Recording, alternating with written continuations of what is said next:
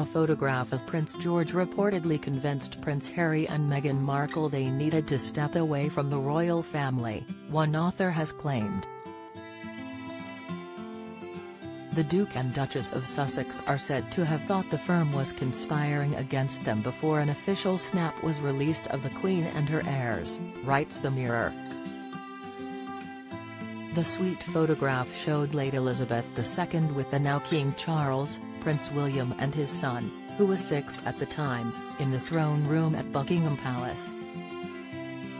The snap was released in early 2020, just days before Harry and Meghan first confirmed they planned to step down as working royals. Author Andrew Morton claims it was a wake-up call for the pair and the final push they needed to get out. The picture simply lined up the future of the monarchy and mirrored many historic portraits, however, it is alleged to have caused upset behind the scenes. In his book Meghan, A Hollywood Princess, Morton wrote, the royal couple suspected that the entire institution was conspiring against them. As they saw it, the evidence was all around them. The unspoken code was straightforward, the future of the monarchy was assured, with or without Meghan and Harry.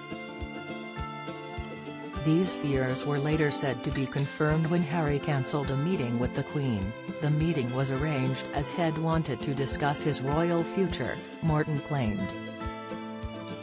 This sends that, despite their international popularity, they were low down the royal totem pole was confirmed when Harry arranged to meet the Queen for a grandson-to-grandmother chat in early January.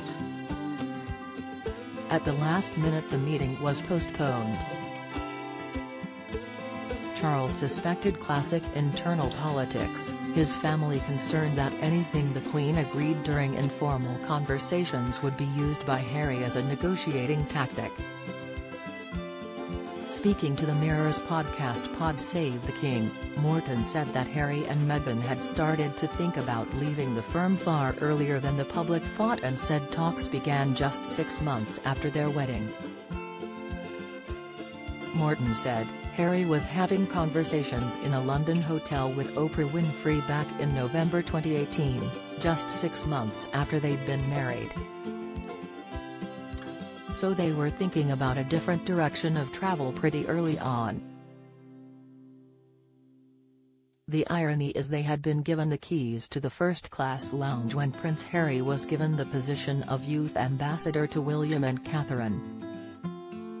This was effectively the Queen's way of saying you do the rest of the world, leave royal family to do the UK where they will eventually be the heads of state.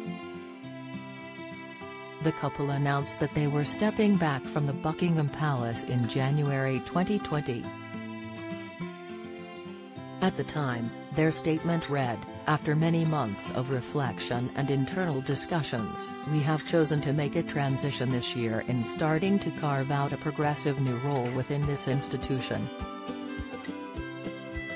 We intend to step back as senior members of the royal family and work to become financially independent while continuing to fully support Her Majesty the Queen.